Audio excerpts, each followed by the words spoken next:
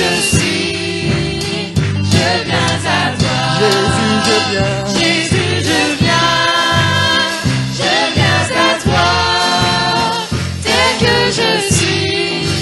Prends-moi, Longtemps, longtemps j'ai loin de sa face, provoqué son sein couru.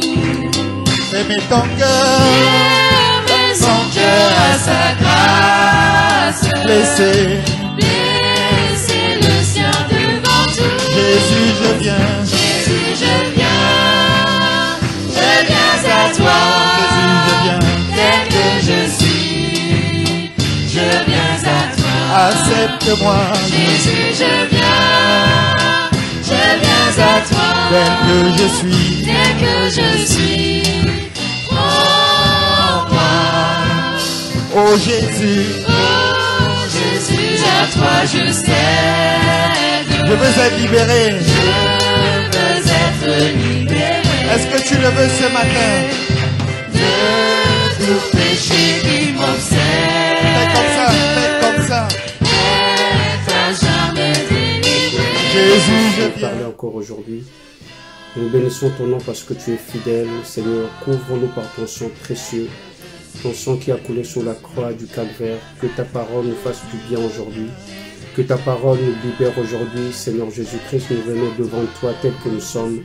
Parce que tu es infiniment grand, tu ne changes pas. Tu es le même hier, aujourd'hui et éternellement. Et ta miséricorde durera toujours. Je te prie, Seigneur Jésus, pour mon frère, pour ma soeur, Seigneur Jésus qui écoute cet enseignement, Seigneur, je te prie, Seigneur Jésus-Christ, de nous visiter. Visite, Seigneur, mon frère, visite ma soeur, Seigneur Jésus-Christ, que toute la gloire te revienne. En ton nom puissant, nous avons prié. Dans le nom puissant de Jésus-Christ, nous disons tous Amen. Euh, que le Seigneur vous bénisse tous, mes frères et sœurs. Euh, bonsoir.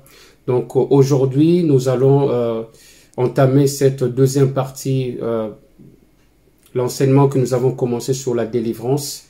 Et j'aimerais vraiment aujourd'hui euh, remercier l'Église qui prie. Je remercie chacun et chacun d'entre vous. Et euh, ce soir, le Seigneur m'a mis à cœur d'honorer euh, une personne avant de commencer cette étude. J'aimerais ce soir honorer notre président national de, des Églises pentecôtistes de France. J'aimerais honorer Pasteur Jean-Claude Novaki. Vous savez que Pasteur Jean-Claude Novaki et Sœur Novaki nous ont beaucoup enseigné, nous ont beaucoup nourris. Et je remercie de leur fidélité, je remercie le Seigneur de leur euh, dévouement, de leur engagement pour euh, l'œuvre en France. Je vous dis sincèrement que moi, je suis le fruit de leur ministère. Et j'ai à cœur qu'on prie pour euh, Pasteur et Sœur Novaki. Vous savez qu'il est notre leader, il est notre bishop, je peux le dire. Et nous voulons à chaque moment prier pour euh, Pasteur et Novaki et Sœur Novaki ainsi que leurs enfants. Et euh, vous savez qu'ils ont un grand fardeau pour la France. Et euh, nous voulons que le Seigneur puisse les inspirer pour que le Seigneur puisse leur donner les paroles nécessaires pour guider nos églises. Seigneur Jésus-Christ, je te prie de poser ta main puissante, Seigneur, sur notre pasteur Jean-Claude Novaki. Seigneur, pose ta main sur Sœur Novaki, Seigneur, ainsi que leurs enfants. Je te prie, Seigneur Jésus, de le protéger, de les garder, Seigneur, de tout mal, de tout danger. Seigneur, en toutes choses, nous voulons te remercier, nous voulons te glorifier parce que tu es fidèle. Merci, Seigneur Jésus. Alléluia. Amen. Donc, aujourd'hui, nous allons commencer euh, cette deuxième partie sur euh, la délivrance. Alors, aujourd'hui, euh, le verset principal de notre étude est dans Jean euh, 8, verset 36. C'est un très court verset. Donc nous lisons dans Jean 8, verset 36, Si donc le Fils vous affranchit, vous serez réellement libre. Merci Seigneur pour la liberté. Merci Seigneur parce que tu as donné ta vie sur la croix pour nous libérer. Alléluia.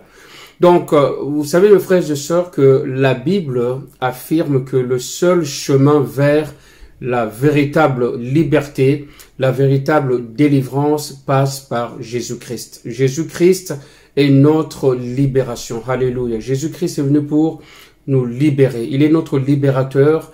Euh, Aujourd'hui, si vous regardez partout dans le monde, le vide qu'il y a dans les cœurs des gens, euh, ils ont besoin de Jésus-Christ. Alléluia. La vraie délivrance dans tous les domaines commence par Jésus-Christ. La vraie liberté, la vraie délivrance consiste à être affranchi. Alléluia. Affranchi de quoi? Affranchi de la peur, affranchi de la culpabilité, affranchi de euh, l'inquiétude, affranchi de l'amertume, affranchi de la mort. Vous savez que mes frères et sœurs, vous n'avez pas besoin aujourd'hui de faire semblant euh, parce que vous êtes euh, délivré et libre euh, d'être vous-même. Donc aujourd'hui, pour être vraiment très clair, lorsque nous venons au Seigneur, lorsque nous sommes entre frères et sœurs, on doit être vrai. Vous savez pourquoi? Parce que lorsque vous êtes vrai, euh, vous allez permettre à ce que euh, les gens qui vous entourent puissent vous aider. Euh, Dieu nous demande d'être vrais aussi, parce que lorsque nous sommes vrais, nous, nous, nous identifions, nous, à ce que le Seigneur veut réellement faire dans notre vie. Euh, quand je parle de, de s'identifier, c'est-à-dire d'être comme Christ, alléluia. Être vrai, c'est être soi-même. Euh, avec euh, nos imperfections, avec nos qualités, je vais être euh, tel que je suis. Alors, vous savez pourquoi le Seigneur aujourd'hui nous encourage à, à être toujours prêt, à être toujours là, à être toujours dans sa présence parce que il veut que nous soyons comme lui, dans sa présence. Jean 8, verset 31 nous dit, il dit aux Juifs qui avait cru en lui, si vous demeurez dans ma présence, vous êtes vraiment mes disciples. Si vous demeurez dans ma présence, vous êtes vraiment mes disciples. C'est pour ça que je vous ai dit tout à l'heure, euh, demeurer dans la présence de Dieu, être dans la présence de Dieu nous identifie réellement. Euh, ici, on parle de la délivrance. La délivrance commence par Jésus-Christ. La délivrance commence par euh, à marcher avec le Seigneur. Alléluia. Verset 32 nous dit, vous connaîtrez la vérité et la vérité vous rendra libre. C'est pour ça que j'ai commencé par dire qu'il faut être vrai. Lorsqu'on est vrai, on, on, marche avec le Seigneur, on donne sa vie à Jésus-Christ. Alléluia, nous connaîtrons la vérité. Et c'est cette vérité qui va nous rendre libres. C'est cette vérité qui va nous délivrer réellement. Lorsqu'on est en dehors de la vérité, on est quelque part lié. Mais la vérité nous montre la lumière, nous ouvre le chemin. Euh, verset 33, on est dans Jean 8, verset 33. Ils lui répondirent, nous sommes la postérité d'Abraham et nous ne fûmes jamais esclaves de personne. Comment dis-tu, vous deviendrez libres? En vérité, en vérité, je vous le dis, leur euh, répliqua euh, Jésus, quiconque se livre au péché est esclave du péché. Alors, de quelle dépendance le Seigneur nous garantit-il une vraie délivrance? Euh, On parle aussi d'une dépendance que nous avons du mal à, à reconnaître, c'est-à-dire la dépendance du péché. Il y a, il y a des gens qui, qui vivent dans le péché, mais qui cachent, euh, qui ne reconnaissent pas. Ou bien, ils sont tellement dans euh, cette vie-là, euh, ils pensent que c'est ça la, la, la, la, vraie vie, c'est ça la réalité.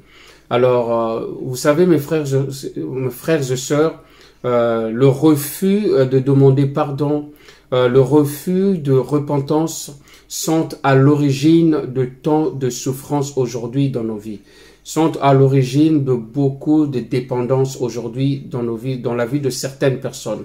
Alors, Jésus-Christ parle de la délivrance. Jésus-Christ parle de la libération aussi. Jésus-Christ parle d'affranchissement et Jésus-Christ parle de la dépendance du péché.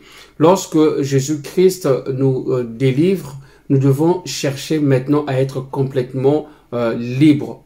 On est libre seulement si nous laissons l'esprit du Seigneur nous envelopper complètement, lorsque nous laissons, lorsque nous laissons l'esprit du Seigneur nous guider.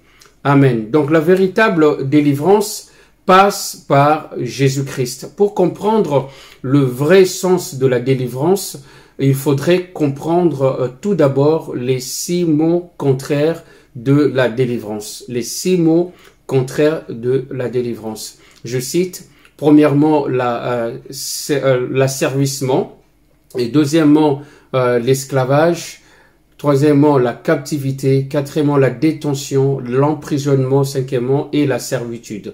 Donc, l'asservissement, l'esclavage, la, la, captivité, la détention, euh, l'emprisonnement et la servitude. Alors, on va commencer d'abord par ces deux mots, l'asservissement et l'esclavage. Vous savez que l'asservissement est un état de dépendance absolue. Voilà le mot euh, qui me fraye, c'est ça absolu.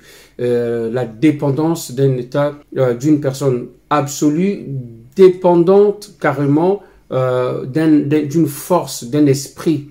et l'esclavage est un état ou une condition de ceux qui sont sous une domination tyrannique ou d'une domination démoniaque. Et vous pouvez faire la liste. Donc, euh, lorsqu'on est esclave, lorsqu'on est asservi, on ne peut pas contrôler quoi que ce soit. On est dominé, on est dépendant. Et 1 Corinthiens 6, verset 12, la Bible nous dit, tout m'est permis, mais tout n'est pas utile. Tout m'est permis, mais je ne me laisserai asservir par quoi que ce soit. Mes frères et sœurs, il y a trois dimensions. Le trois dimensions, sont liés et souvent complémentaires. Corps, âme, esprit sont liés et souvent complémentaires. Sur le plan du corps, on peut être asservi par euh, l'alcool, euh, par la cigarette, la drogue, le sexe, et puis vous connaissez la suite. Donc, euh, nous devons prier pour que le Seigneur nous préserve de ça. Tu dois prier pour que le Seigneur te préserve de ça, pour que le Seigneur te délivre de l'alcool, pour que le Seigneur te délivre de la cigarette, pour que le Seigneur te délivre de la drogue et du sexe. Vous savez que je vous ai dit tout, à l'heure que les, trois sont liés, euh, le corps, l'âme et l'esprit sont liés. On peut pas, on peut pas les dissocier. Donc si votre corps est affecté et est influencé euh, et nourri par euh, l'alcool, par la cigarette, par la drogue, par le sexe, ça va affecter euh, ton esprit et puis ça va affecter ton âme.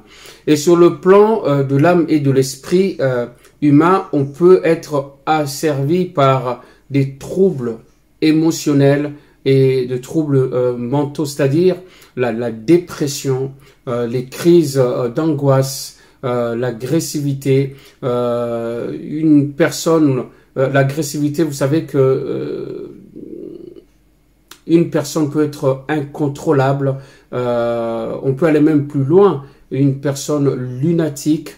Euh, il y a une histoire dans la Bible, dans les évangiles, euh, on va aller dans l'évangile de Matthieu, chapitre 17, qui nous montre à peu près ce que c'est une personne lunatique, une personne qui est incontrôlable, une personne qui est complètement possédée, qui est complètement liée.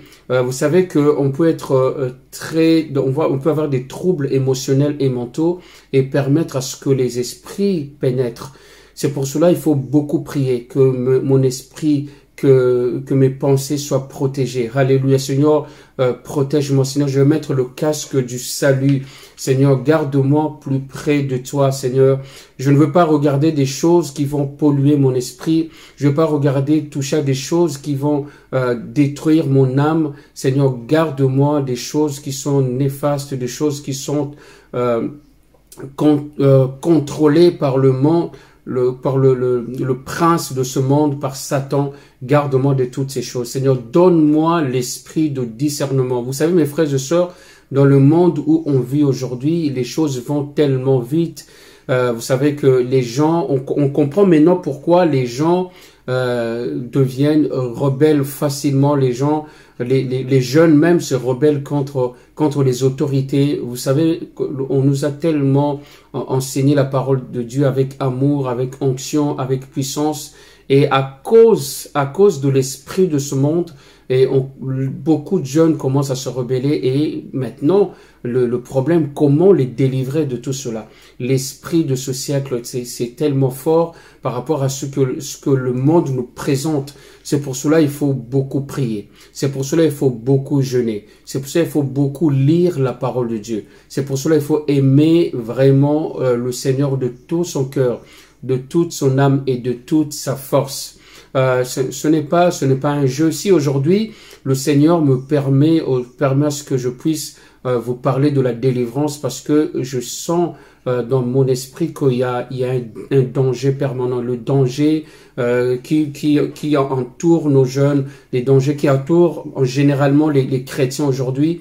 Et je prie vraiment que vous soyez préservés que vous ne soyez pas parmi ce groupe des gens qui sont euh, euh, influencés par l'esprit de ce siècle, l'esprit de ce monde. Les, les, les gens veulent euh, avoir tout tout de suite, ils veulent comprendre les choses très rapidement. Euh, ça fait que quelques mois vous êtes converti, ça fait que quelques mois vous êtes dans le Seigneur et vous pensez connaître plus que les anciens. Euh, ça, c'est très dangereux. Et vous savez que si vous êtes euh, dans ce cas-là, euh, vous faites très attention parce que vous pouvez être frappé par un esprit d'aveuglement. Vous pensez connaître alors que vous ne connaissez rien du tout. Le secret, comme je vous ai dit, mes frères et sœurs, restez toujours soumis. C'est ça qui va faire votre protection, votre protection. Aujourd'hui, moi, je peux témoigner, je suis devant vous, je suis le fruit des anciens qui m'ont enseigné, qui m'ont nourri, qui m'ont dit, Alain, fais très attention, Alain, fais très attention, et je suis là aujourd'hui, et je vous exhorte, faites très, très attention, aimez le Seigneur, restez sous euh, cette protection des anciens avec les enseignements que vous avez reçus. Matthieu 17, verset 14 nous dit, lorsqu'ils furent arrivés, lorsqu'ils furent arrivés euh, près de la foule, un homme vint se jeter à genoux devant Jésus et dit, Seigneur, aie pitié de mon fils qui est lunatique et qui souffre cruellement. Il tombe souvent dans le feu et souvent dans l'eau. Euh, Jésus parla sévèrement, la Bible dit, sévèrement aux, démons. Jésus s'adresse aux démons. Euh, ici, il n'est pas mentionné son nom l'esprit, mais il, on parle ici de démons. Il, s'adressa, il parla sévèrement au démon qui sortit de lui et l'enfant fut guéri à l'heure même. Alléluia. Voilà la, la, puissance de la parole de Dieu. Le réma est sorti, la, cette, cette puissance qui a délivré cet enfant. Mes frères et sœurs, nous avons une puissance. La parole de Dieu, c'est une puissance. Il faut juste l'appliquer. Et pour que la parole de Dieu puisse avoir un effet, il faudrait d'abord que toi-même tu sois un homme, tu sois une femme de prière, que tu jeûnes beaucoup et que tu ne sois pas dans les, les murmures, que tu ne sois pas dans la rébellion, tu ne sois pas parmi les gens qui euh, voilà qui, qui qui disent des choses qui, qui ne maîtrisent pas eux-mêmes. Euh, vous savez que moi, je, je remercie le Seigneur parce que j'ai expérimenté la puissance de Dieu. Alléluia. Euh, ça fait un certain temps que je suis à Romilly. Je, je vous dis que le Seigneur agit puissamment. Nous voyons les, les, les gens restaurés, l'Église restaurée. Alléluia. Parce, pourquoi? Parce que parce qu'on prie, parce que la prière est tellement efficace. Euh, nous sommes dans une étape où le Seigneur visite l'Église tous les dimanches parce que nous prions parce que nous avons arrêté, euh, nous avons décidé d'arrêter de parler pour rien. Nous avons décidé seulement de prier, de louer le Seigneur et d'enseigner la parole de Dieu. La prière, la louange et l'enseignement, l'adoration et évangéliser. Voilà ce que nous faisons actuellement dans l'église de Romilly. On a banni euh, euh, les discussions vaines, on ne veut plus de toutes ces choses-là parce que ça nous fait perdre du temps. si aujourd'hui vous voulez vous sentir utile dans l'église là où vous êtes, Mettez-vous d'abord en prière, jeûnez beaucoup, aimez la parole de Dieu, alléluia, et puis évangélisez. Combien d'âmes vous avez gagné depuis que vous êtes converti Combien d'âmes que vous avez gagné depuis que vous êtes au Seigneur? Vous savez que la parole seulement délivre une personne. Combien d'âmes vous avez fait l'étude biblique aujourd'hui? Parce que si vous enseignez une personne, vous enseignez la vérité, c'est-à-dire vous enseignez Jésus-Christ, vous présentez Jésus-Christ à ceux qui ont faim et soif du Seigneur. Donc aujourd'hui, lorsqu'on parle de la délivrance, on parle d'abord de Jésus-Christ. Jésus-Christ est notre délivrance. Jésus-Christ est notre salut. On commence d'abord par recevoir Jésus-Christ dans sa vie. On commence par recevoir Jésus-Christ dans votre Seigneur, viens dans ma vie. Seigneur, viens faire ta volonté dans ma vie. Seigneur, enlève tout ce que n'est pas de toi. Je vais dépendre de toi totalement. Merci Seigneur. Alléluia. Vous savez, mes frères et sœurs, qu'on peut être asservi par le sentiment d'échec. Par le sentiment euh, d'échec, c'est-à-dire la culpabilité. Beaucoup de personnes se culpabilisent, l'auto-accusation, ou, même le, déni, euh, c'est-à-dire le, rejet de la, de la réalité, euh, la fuite de la réalité.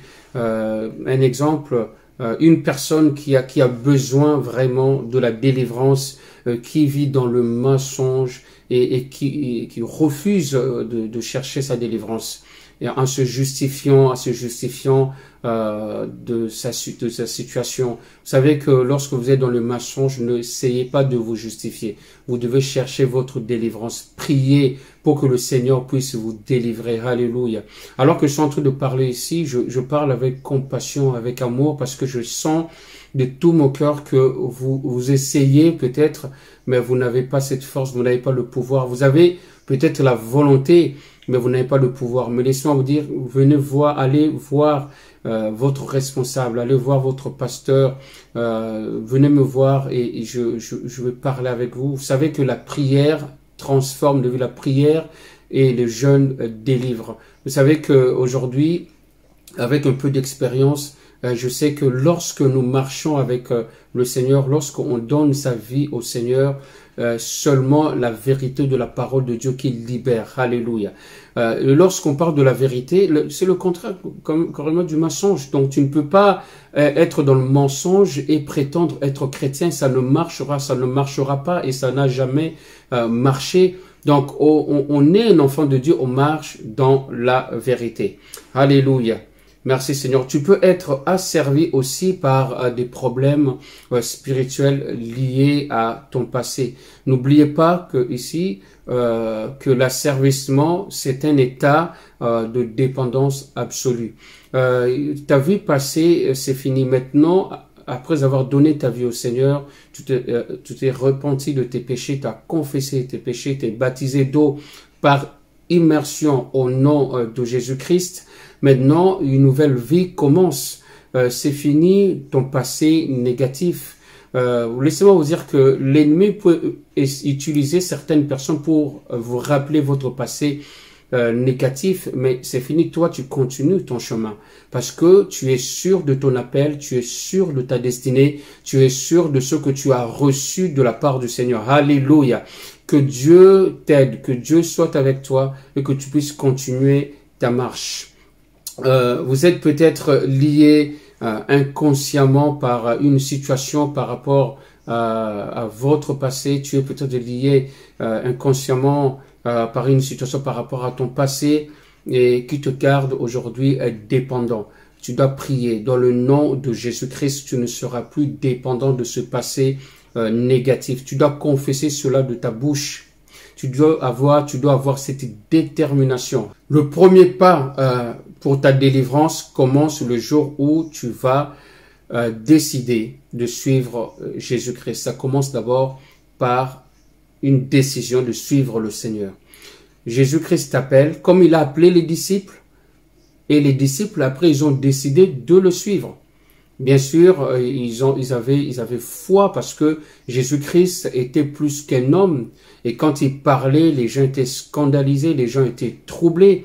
Et le Seigneur nous a donné cette, euh, cette autorité, nous a donné cette puissance, nous a donné cette parole de connaissance, cette parole de sagesse, cette parole pour libérer les gens.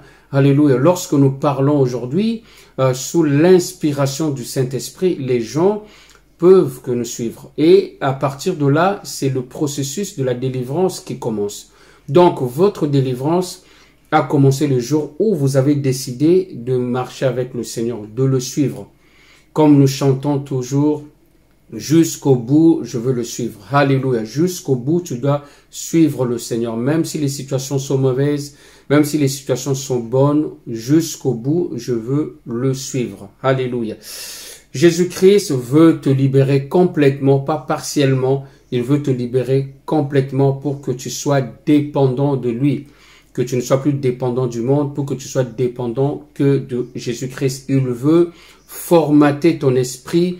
Il veut paramétrer ton esprit pour que tu sois libre. Alléluia. Tu dois déclarer que je suis libre en Jésus-Christ, que personne vienne injecter des paroles mauvaises dans ton esprit, que le personne vienne injecter des paroles qui, vont te rendre rebelle contre euh, tes euh, supérieurs qui t'ont formé jusque-là, qui t'ont nourri, qui ont prié pour toi. Vous savez que euh, les, les anciens ont, ont, ont prié pour vous les anciens prient pour vous. Si vous êtes là aujourd'hui, vous pouvez aujourd'hui euh, parler au moins de quelques versets de la parole de Dieu parce que quelque part, Dieu avait mis quelqu'un sur votre chemin.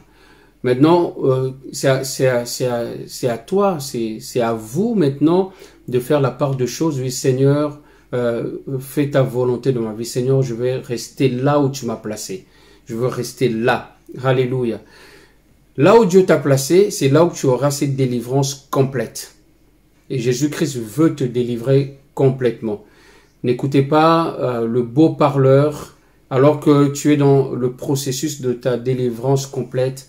Il il ne faut pas écouter le beau parleur qui va t'écarter de ta destinée.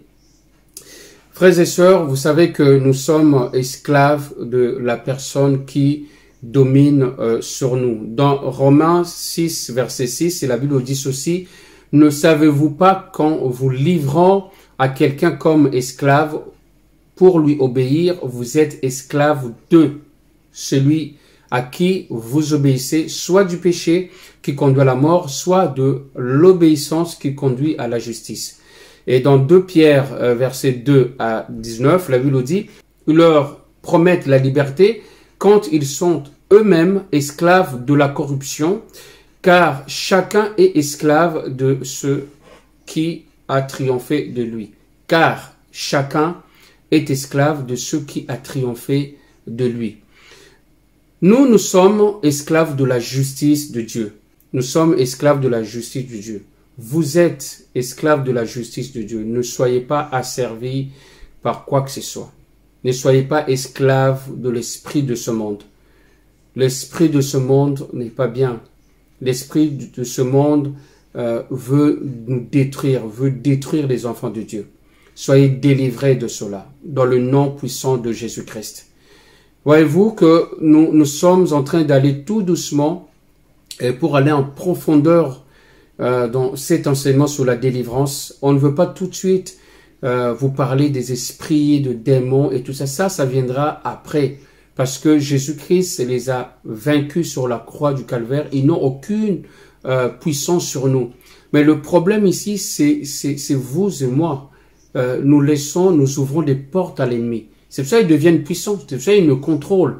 Mais lorsque je suis armé, alléluia, par l'Esprit du Seigneur, lorsque je suis armé par la prière, lorsque je suis armé par la parole de Dieu. Alléluia. L'ennemi ne pourra pas m'influencer. L'ennemi ne pourra pas m'accabler. L'ennemi ne pourra pas m'angoisser. L'ennemi ne pourra pas me rendre triste.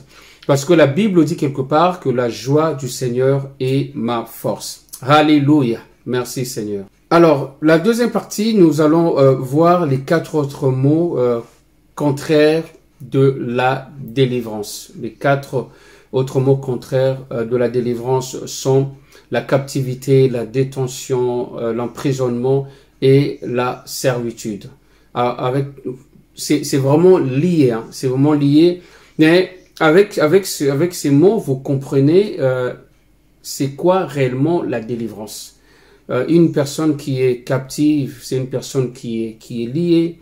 Une, personne qui est en, en détention n'est pas libre de ses mouvements et son esprit est, affecté parce que vous restez dans un endroit enfermé. Vous peut-être vous savez qu'il y a des prisons où les gens sont complètement dans le noir, dans le noir pendant des heures et des heures. Euh, leur état d'esprit, leur esprit est tellement atteint par, le noir. Et dans, certains pays modernes, c'est un peu, on peut dire, euh, mieux. Mais euh, laissez-moi vous dire, il y a des pays où les gens qui sont en prison, qui sont euh, en détention, ils sont complètement abandonnés à leur propre sort. Et ils partagent un petit repas, ils sont, ils sont, la situation sanitaire, n'en parlons même pas. Et c'est exactement ça, ce que l'ennemi, le diable veut nous réduire. Le diable veut nous réduire à ça, dans un état euh, de, de, servitude. Alors la captivité, la détention est un état de quelqu'un qui est détenu en prison. Tu es enchaîné, tu es dans une tombe, tout est confiné, tout est noir, tout est euh, ténébreux, euh, tu, tu n'arrives même pas à respirer parce que tu es étouffé par une force qui est supérieure à toi, qui te domine complètement. La servitude est un état euh, de dépendance complète euh, de quelqu'un euh, envers quelqu'un d'autre.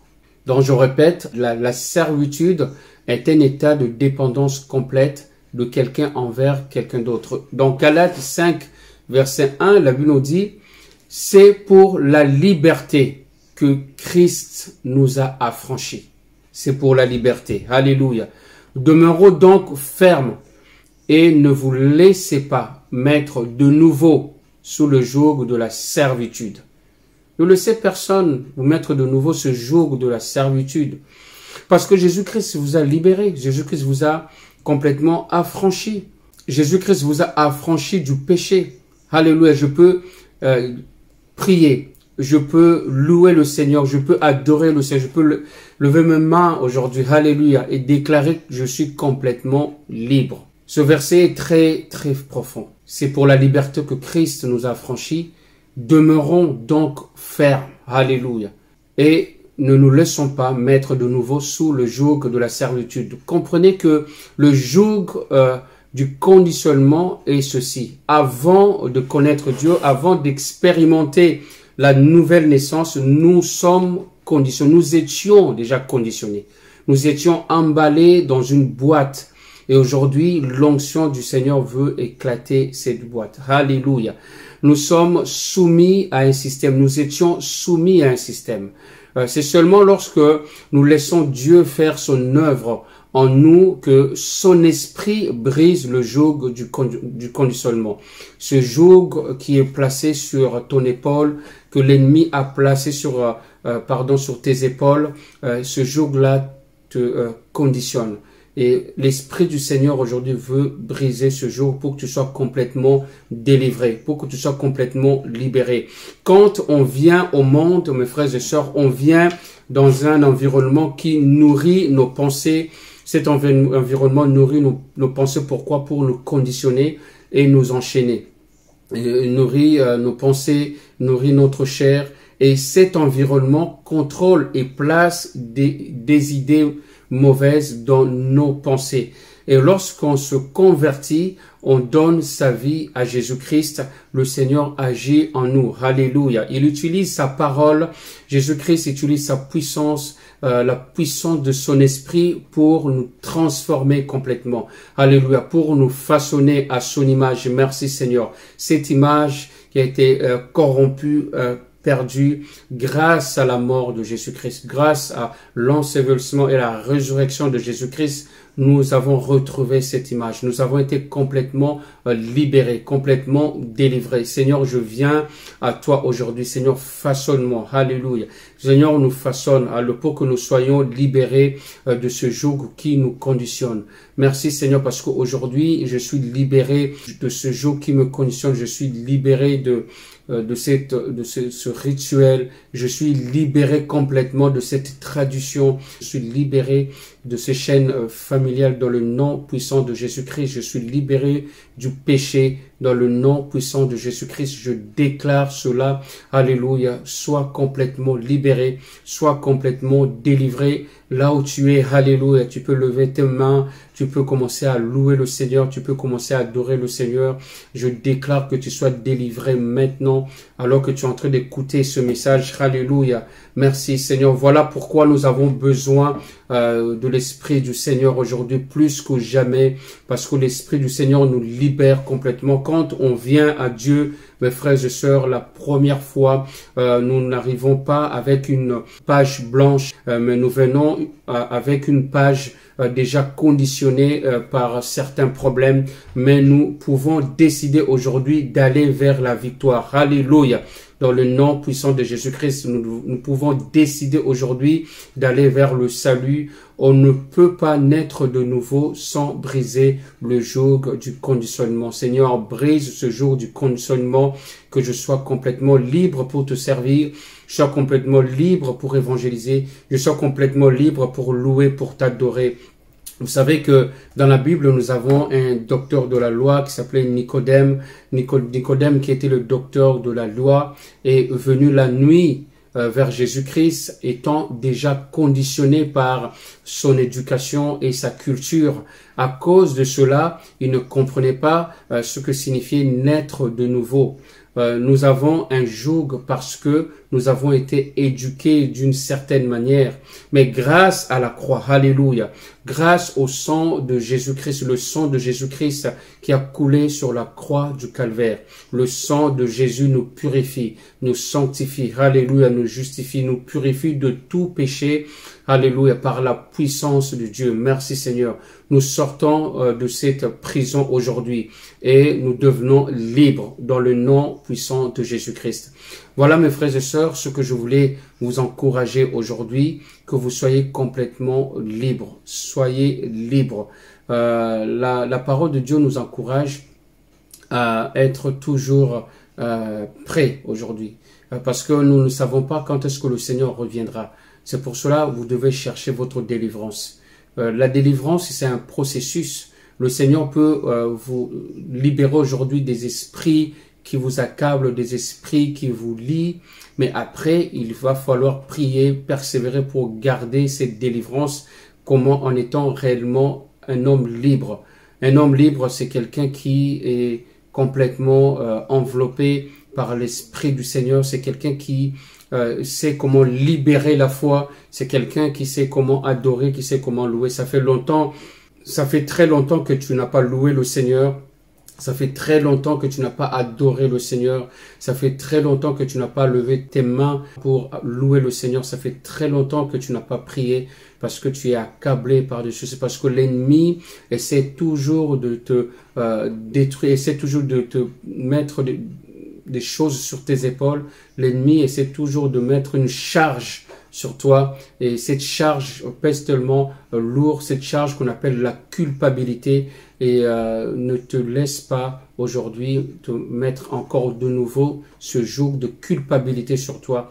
Parce qu'aujourd'hui tu sais maintenant que c'est en Jésus-Christ que tu es réellement libre. Maintenant tu sais, loue le Seigneur de tout ton cœur. Et le Seigneur va euh, te visiter puissamment là où tu es dans ton appartement, peu importe l'endroit où tu es, euh, en écoutant ce message, euh, tu pries pour que le Seigneur puisse te visiter. Alléluia. Prions tous ensemble. Seigneur Jésus-Christ, nous te remercions, nous te rendons grâce pour ce moment d'enseignement. Je te prie, Seigneur Jésus, de poser ta main sur mes bien-aimés qui ont suivi cette deuxième partie. nous avons en nous, Seigneur, cet esprit puissant qui nous aide, Seigneur, à surmonter, Seigneur Jésus-Christ, les choses qui nous accablent. Je te prie aujourd'hui par la puissance de ta parole de visiter mon frère, de visiter ma sœur, Seigneur Jésus.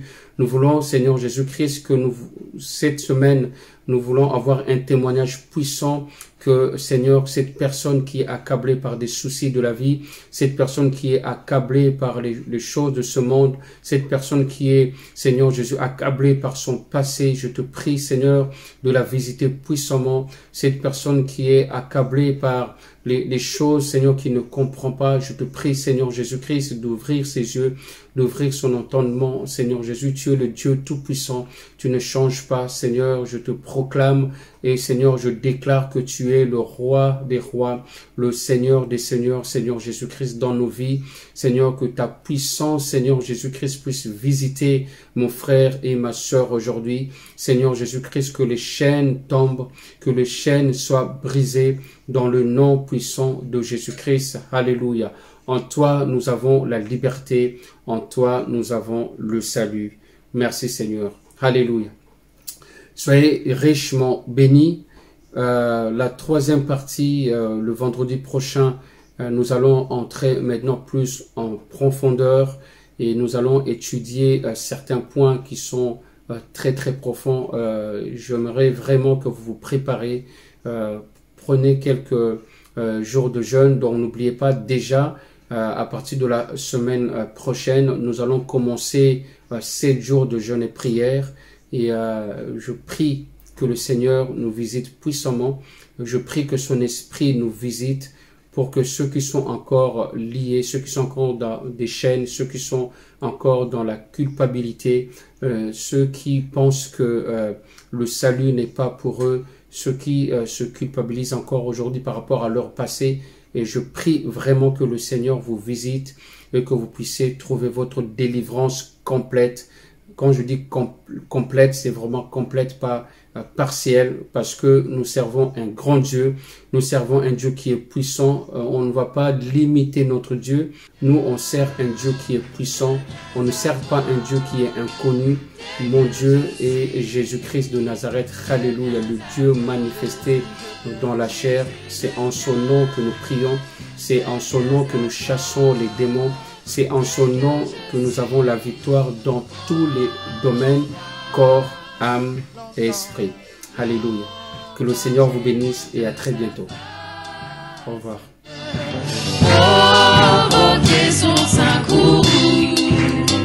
Fais ton cœur, son cœur à sa grâce. blessé.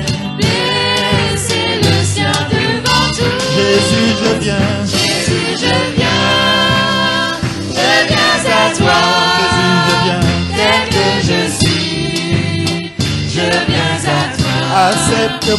Jésus, je viens. Je viens à toi. tel que je suis. Tel que je suis. Prends-moi. Oh Jésus, Oh Jésus, à toi je cède. je veux être libéré. Je veux être libéré Est-ce que tu le veux ce matin? De tout péché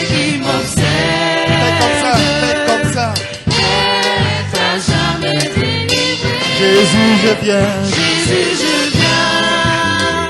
Je viens à toi. Tel que je suis. Tel que je suis. Je viens à toi. Jésus, je viens. Jésus, je viens, je viens à toi, Tel que je suis. tel que je suis. Prends-moi, Alléluia.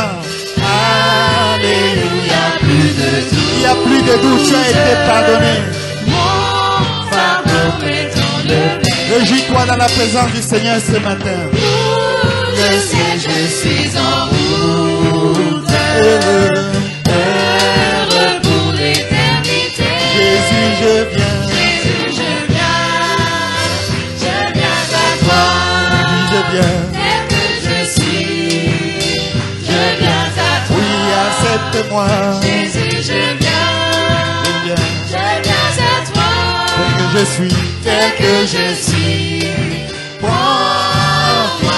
Jésus, je viens. Jésus, je viens, Jésus, je viens. Nous venons à toi ce matin, tel que nous sommes, tel que je suis.